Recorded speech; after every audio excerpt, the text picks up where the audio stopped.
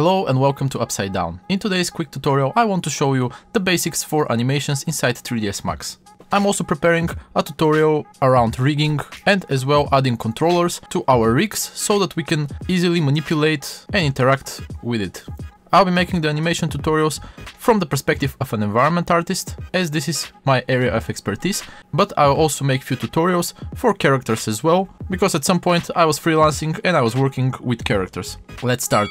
The first thing that I want to show you is how to edit the timeline and also how to operate with it and how to add keyframes or remove them. So uh, I want you to notice that our timeline at the moment has 100 frames. This can be very easily edited from the button down here, time configuration where we can put what is the length of our timeline. So if we want, for example, 250 frames, I can make it like this, click OK, and we can see that now our timeline is much longer.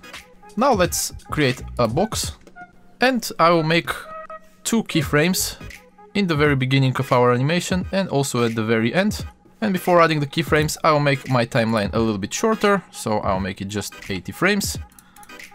And I'm going to add two keyframes in the very beginning and in the very end and we are going to move the boxes on the x-axis. So there are two ways of adding keyframes. First is using auto key. Auto key is automatically creating keyframe whenever we make some movement. So for example, if the box is already here and then I move my timeline let's say on 15th frame and I move my box, you can see that it created automatically two keyframes. This is very easy and useful if you're creating a very quick animation, but when it comes to a little bit more complicated uh, movements and motions, I usually prefer adding the keyframes on my own. So let me show you how to do this. I'll stop auto key and, and I'll click Ctrl Z so I can remove the keyframes and go back to starting position. So this time I'm going to use set key for adding keyframes on our own, every time that we want to add a keyframe, we need to click the button over here or click K on the keyboard. This is going to add a keyframe. So now I can go all the way to the end and move our box on the other side and click K one more time. If I come and click the play animation, you can see that our box is moving. I want you to notice that the animation has a little bit of a ramp up while it gets to the full velocity and also slow down at the very end. And this is because our speed is not linear on the box, but instead there is a curve and I want to show you how to edit these curves. First I will delete this animation so we can select the keyframes down below and click delete and then I'm going to clone the box one more time. I'll select both of the boxes this time. Go to set keys, set a key. We are setting a beginning key. I'm moving my slider and then we are moving it on the other side and setting another key. So now both of them are moving the same way, but what we are going to do, I will edit the curve of the second box. The way to access the animation curves inside 3ds Max is from Graph Editors, and then we have track view curve editor.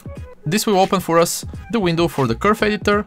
I'll just move it here on the side as our animation is pretty short. So when we have uh, an object select, we can see that here there are few lines which correspond to the colors of our axis. And since our object is moving on the x-axis, we can see that here there is a small square. This small square represents our keyframe and also at the end keyframe, we also have the same small square, which represents the end of our animation. And at the moment we can see that this line is not straight, but, but instead it has this curve. And if we select the other object, we can see that it's exactly the same. But if I select the both keyframes, the start one and the end one, and we can use from the tools on the top, a tool which will make it straight. So I'll just expand our curve editor so that we can see all the tools on the top. And now as we have both of the keyframes selected, and you can see that here on the top we have these automated tools which we can edit our curves. So I'm going to use the one which is set tangent to linear, and you can see that now our line is straight instead of curved. I'll close the curve editor, and now if I click play, you will see the difference between both animations.